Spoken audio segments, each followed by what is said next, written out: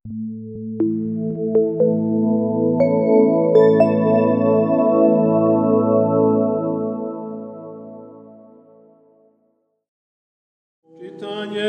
iz Svetog Evanđelja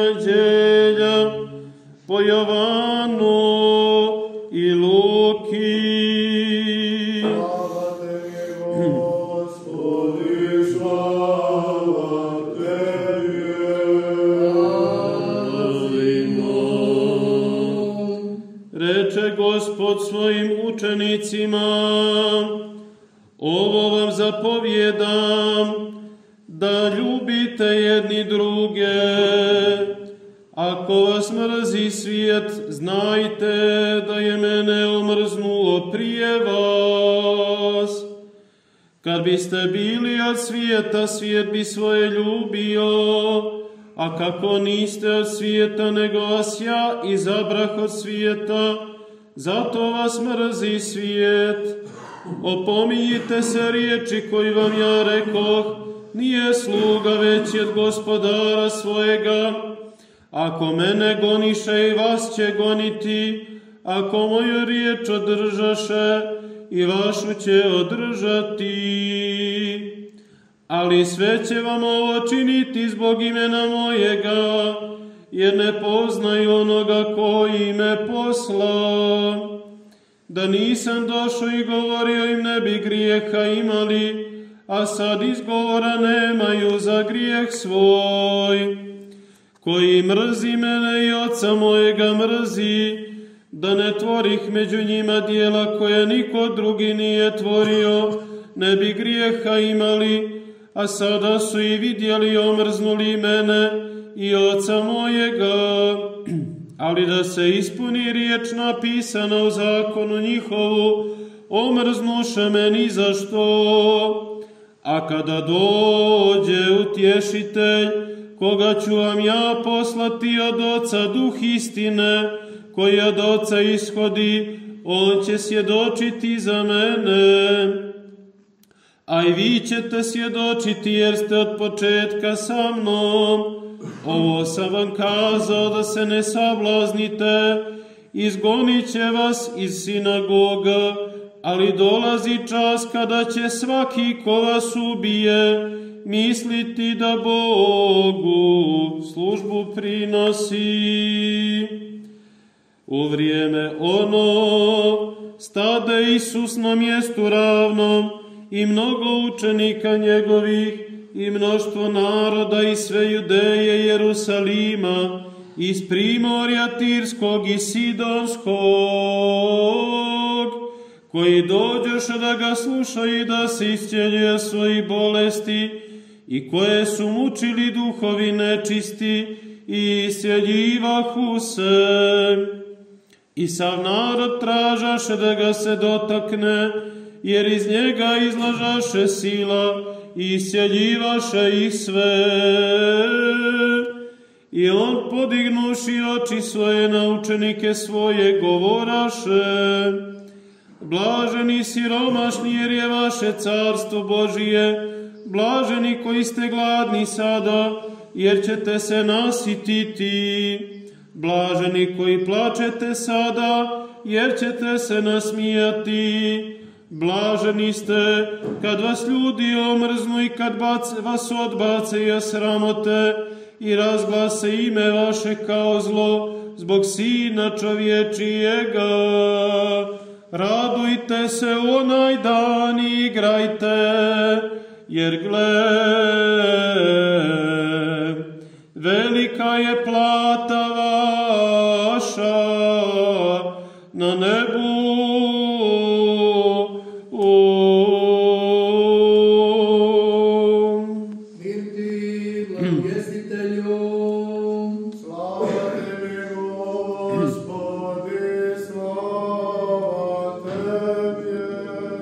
Hristos Voskrese. Va istinu Hristos uskresi. Draga braće i sestre, po blagoslovu načalstvujućeg sveštenika, služitelja, ja ću progovoriti nekoliko reči, iako nisam planirao da govorim, ali poslušanja radi. U ovoj svetloj Vaskršnjoj nedelji mironosica, kada slavimo Vaskrsenje Hristovo i slavimo one Božije ugodnike koje su bili prisutni i ne samo prisutni, nego pomogli Hristu da izdrži svoje muke na krstu, ali i dočekali i objavili njegovo vaskrsenje i pomazali mirom njegovo telo skinuto sa krsta, ali i nakon vaskrsenja osetili mir od toga mira koje im je telo Hristovo bilo pomazano. Danas slavimo onoga koji je rođen u miri likijskoj i koji je mirom Božijim zamirisao od samog svoga rođenja. To je veliki ugodnik Božiji, sveti Nikolaj Mirilikijski čudotvorac, sluga Božiji, ugodnik Božiji, ali i prijatelj Božiji. Danas praznujemo prenos njegovih svetih moštiju iz mira Likijske, gde su vekovima počivale u njegovom rodnom mestu, u grad Bari.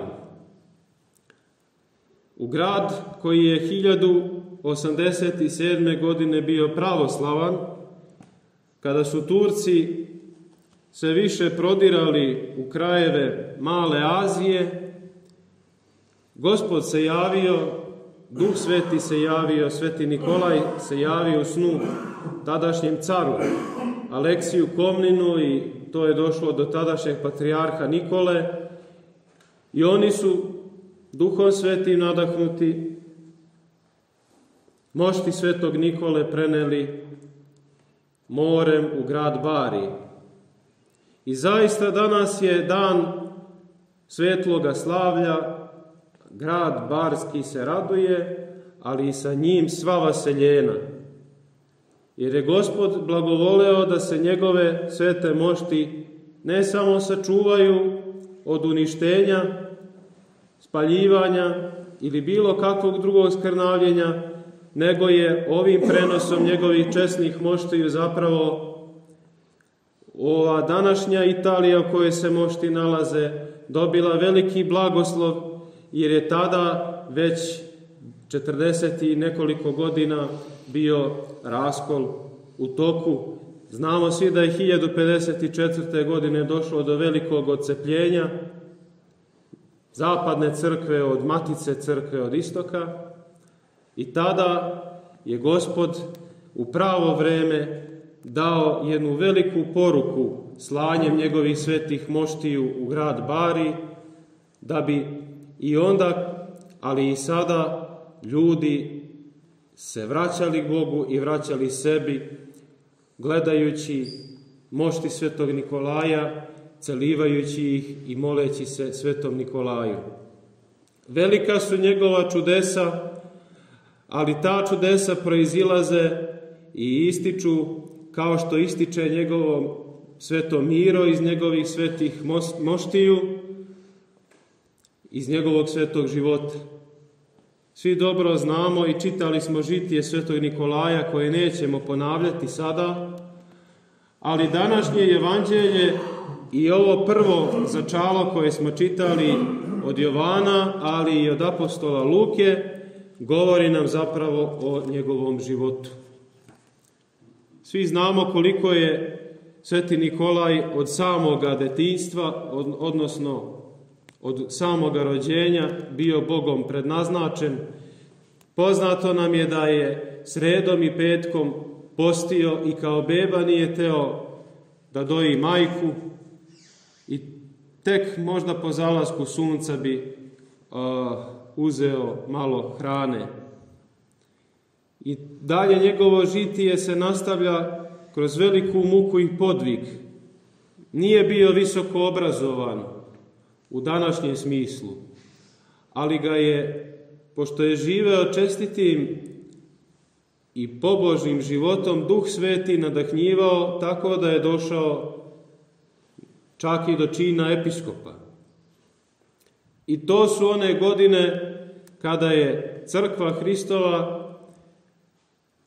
za vreme cara Konstantina dobila slobodu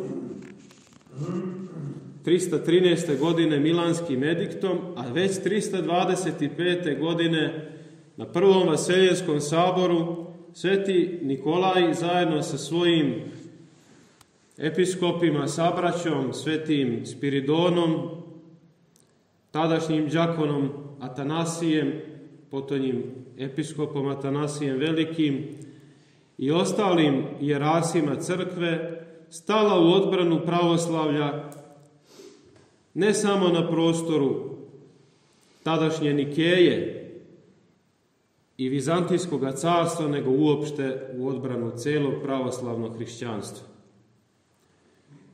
Poznato nam je da je Sveti Nikolaj odigrao ključnu ulogu opomenuvši Arija na sebi svojstven način i da je zbog toga završio u tamnici, ali ga je gospod proslavio i u tamnici i ovo evanđelje današnje kad kaže blaženi ste va, kada vas progone i kada zlo govore protiv vas svakojake rđave reči mene radi, odnosi se na taj period njegovog života. Kad je tamnovao, tada je i plako, plakao ne za sobom i nad sobom, nego je plakao nad onima kojima je um i srce pomračeno. Plakao je nad Arijem, plakao je nad onim bezbožnicima koji su hulili na ime gospodnje. I na njega se odnose ove reči, blaženi ste kada plačete, jer ćete se nasmijati. Da ne govorimo koliko je utešio ožalošćenih, koliko je nahranio gladnih,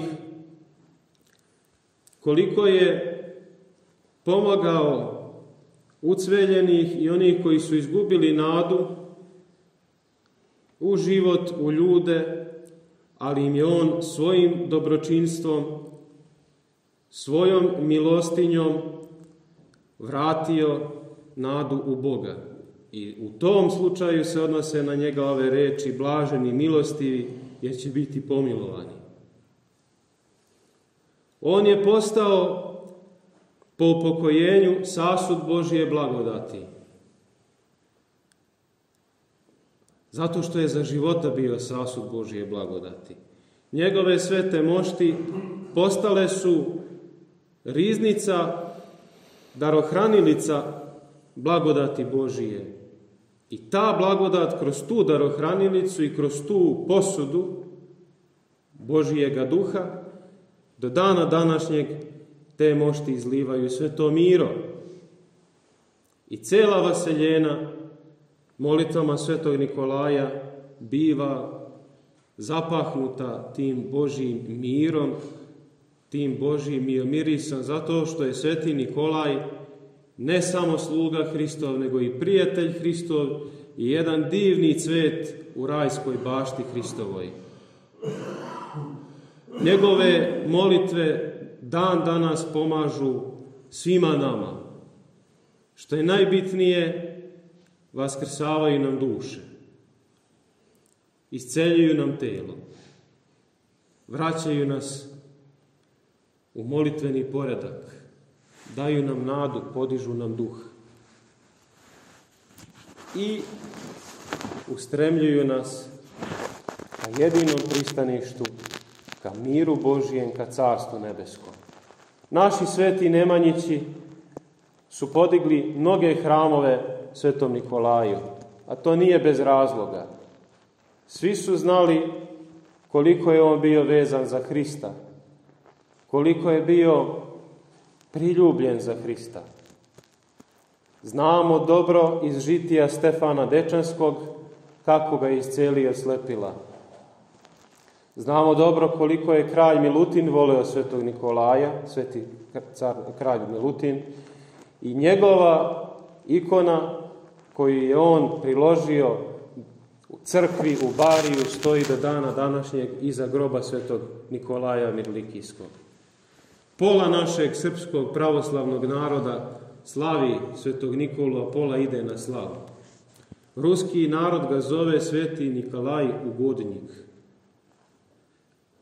on ruski, kako oni kažu. Oni ne mogu da shvate da je on rođen u Maloj Aziji. Toliko ga svi vole zato što je on bio narodski episkop, narodski svetitelj i do dana današnjega pristupačan je svakome čoveku, od cara do ubožjaka. Zato ga svi volimo, zato ga svi poštujemo i zato mu svi hvale uznosimo.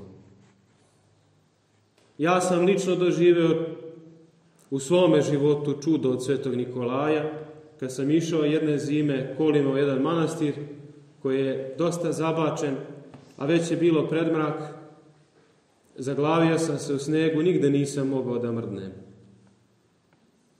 I bojao sam se da ću tu ostati i onda sam onako iz dubine duše zavapio Sveti Nikolaje pomozi, kao da me neka nevidljiva sila gurnula i auto je krenulo dalje da ide napred ka tom manastiru.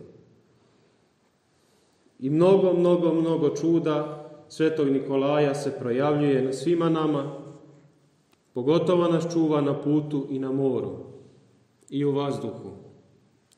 Njegove mošti su osveštale sve puteve, sve vode, sva mora, ali što je najbitnije, danas kad god prizovemo molitvama iz dubine duše i srca Svetog Nikolaja, on je odmah tu.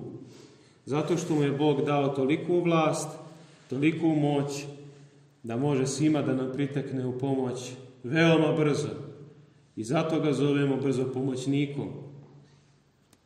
Jedan od sličnih njemu je i sveti Vasilij Ostruški čudotvorac, sluga Božiji i prijatelj Hristov, brzo, brzo pomoćnik, koji mnogo, mnogo, mnogo liči na svetog Nikolaja Mirlikijskog. Njih dvojica su braća sa dve strane mora. I tu su, i među njima nema podele, nego zajedno sa svima ostalima svetima na čelu sa presvetom majkom Bogorodicom poručuju nam samo jedno, ištite samo carstvo nebesko, carstvo Božije i sve ostalo će vam se pridodati. Daj Bože i nama grešnima i malima, makar mali deo vere svetog Nikolaja, ljubavi svetog Nikolaja, žrtve svetog Nikolaja, posta svetog Nikolaja, molitve svetog Nikolaja, da makar malo zaličimo na njega, da bi nas Hristos Gospod kad izađemo pred sud njegov prepoznao kao svoje, kao one koji su sledili put i život i učenje svetog oca Nikolaja. Njegovim molitvama, Gospode Isuse Hriste Bože naš, pomiluj i spasi, izbavi nas od svih bolesti, zaštiti od svakoga zla i upravi na put spasenja, istine, pravde, milosti, ljubavi Gospodnje. Amin.